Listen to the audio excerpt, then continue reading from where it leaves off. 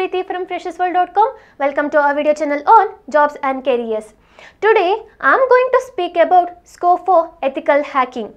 Ethical hacking and ethical hacker are terms used to describe hacking performed by companies or individuals to help identify potential threats on a computer or network. Here are few top modules.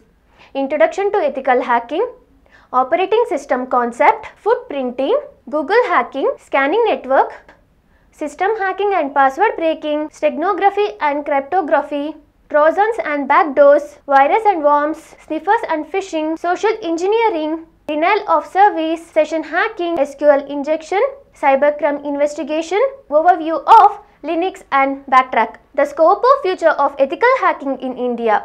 In India, companies like Wipro, Infosys and IBM are interested in employing ethical hackers.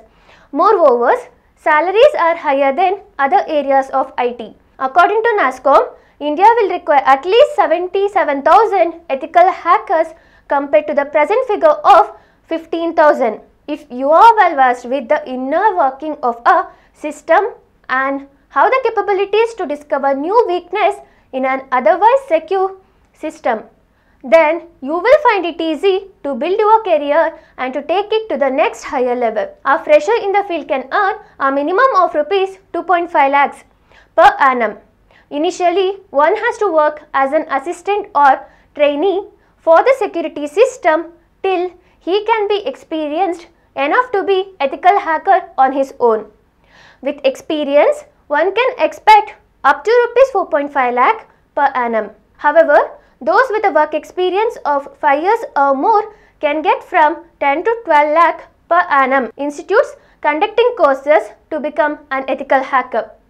Many institutes in India offer certificates and diploma courses in ethical hacking and its related field, likely cyber forensics, information security, etc. For getting an international certifications like CEH and CHFI offered by EC councils, CCNA Security, SCNS and SCNP from SCP, CISSP offered by Intel Information System Security. Companies looking for ethical hackers. Internet security and networking are the two fastest growing industries where ethical hackers can find employment in ethical hacking and information security.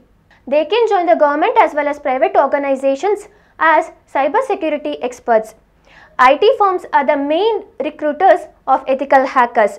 However, it is not limited only to IT companies, but such experts are also required by financial service providers, airlines, retail chains, hotels, and several government agencies. Government agencies such as military and law enforcement agencies, defense organization, forensic laboratories, detective companies, investigative services offers challenging roles for ethical hackers. Some skilled hackers work for investigation agencies like the Central Bureau of Investigation, the National Security Agencies and the Federal Bureau of Information.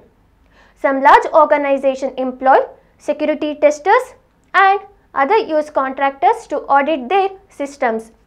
Graduates can set up their own companies offering ethical hacking services.